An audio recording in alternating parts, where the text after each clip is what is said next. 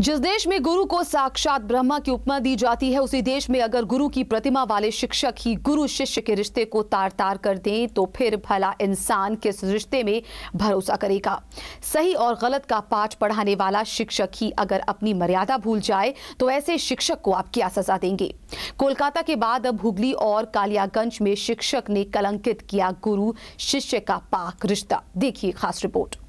कोलकाता के बिरला स्कूल में छात्रा के साथ यौन शोषण का मामला अभी शांत भी नहीं हुआ था कि चिचुड़ा थाने के बांसबेड़िया में स्थित शक्ति संघ विद्यालय के शिक्षक पर परिजनों ने यौन शोषण का आरोप लगाया है।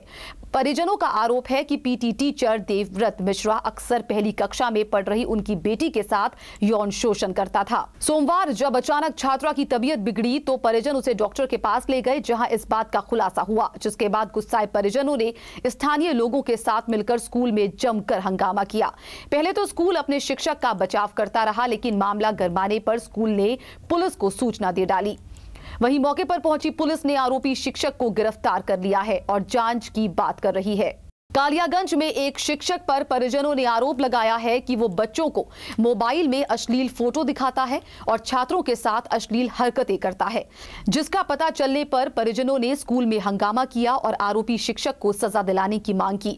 बार बार इस तरह के मामले सामने आने से जहाँ परिजन अपने मासूम बच्चों को स्कूल भेजने से डर रहे हैं, वहीं एक बड़ा सवाल ये भी है कि बेटी बचाओ का नारा देने वाली सरकार आखिर कब तक खामोशी से तमाशा देखती रहेगी?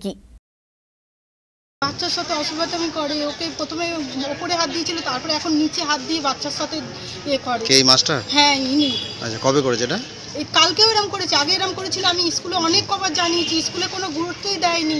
দিয়ে স্কুলে প্রথমে মেয়ে ভয় পেয়েছে মেয়েকে বলেছে মেরে ফেলব। তাই ড্রাইভারের নামে বলেছিল তাই ড্রাইভারের কথা বলেছিলাম তারা ড্রাইভারকে ছাড় ড্রাইভারকে ছাড়ার পরেও যদি এটা স্কুল থেকে এরমই হচ্ছে তাহলে তো স্কুল থেকেই হচ্ছে সেটা আমি জানিয়েছিলাম।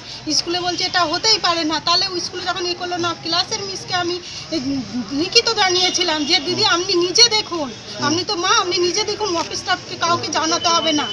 সাতাশি সাল থেকে আমি টিচারি করছি হ্যাঁ, ওখানে যোগাসনে টিচারি করছি আমি কিছু করিনি আমি ঈশ্বরের নামে শপথ করে বলছি আপনি কিছু করেন না তাহলে অভিযোগ উঠছে কেন আপনার এটা নামে আমাকে ফাঁসানো হয়েছে हुगली से जय चौधरी और कालियागंज से पिया गुप्ता की रिपोर्ट